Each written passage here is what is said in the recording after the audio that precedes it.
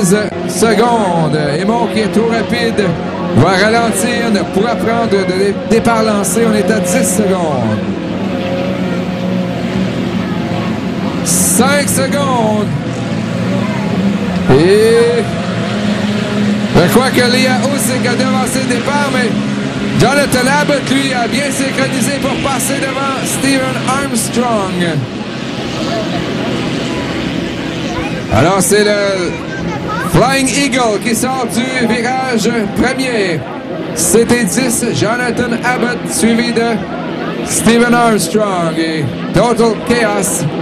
En troisième, c'est Lia Osick, mais je crois qu'elle a devancé le départ. On aurait donc André Bergeron en troisième et Jean-Sébastien Boyer quatrième, suivi de Mathieu Lemelin, Éric Duperron et Daniel Aymon, lui, qui a pratiquement dû arrêter son bateau pour ne pas devancer le départ. Et là, il euh, tente de remonter. Alors, les officiels qui vérifient la vidéo du départ afin de voir si des pilotes ont été trop rapides.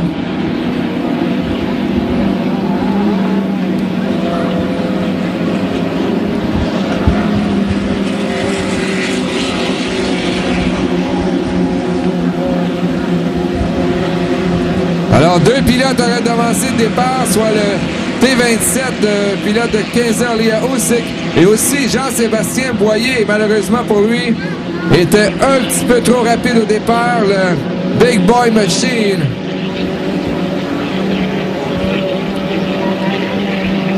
Alors c'est toujours Jonathan Abbott avec le Flying Eagle qui vole littéralement avec euh, le CT10 suivi du Total Chaos de Stephen Armstrong qui vient de l'Ontario.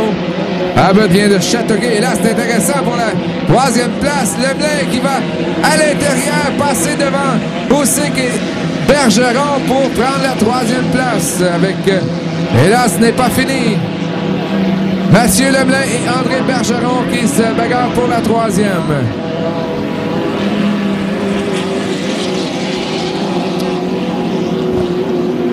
Et là, Lemelin est à l'intérieur.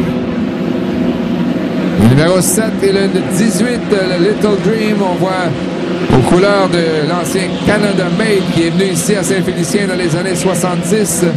Et les deux qu'on voit ici, le 27 et le 77, ont devancé le départ, ce qui signifie que Aymon, lui, serait en cinquième place dans le Trimax numéro 15.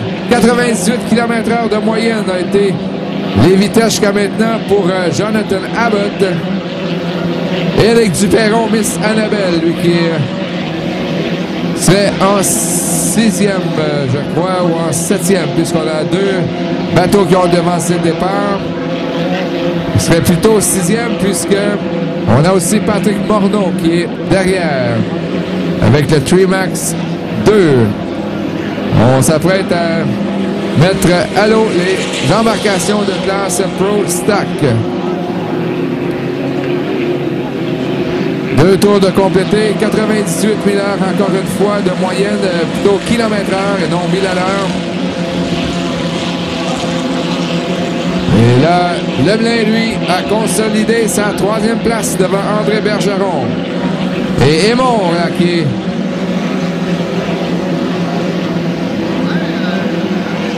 maintenant, bon cinquième. Alors, trois tours à 98 km h de moyenne pour euh, Jonathan Abbott. Lui domine cette année.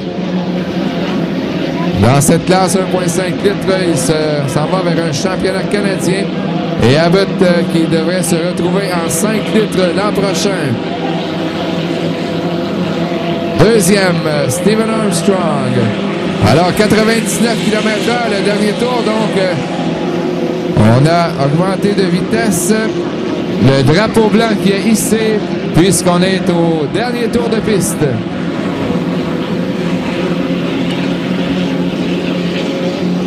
Alors, un demi-parcours à faire pour euh, Jonathan Abbott. On va poursuivre ensuite avec la classe Pro Stock.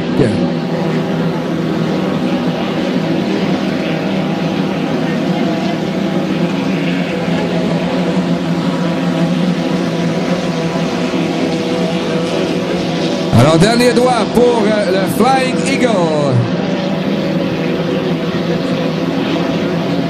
Ce sera la victoire de Jonathan Abbott.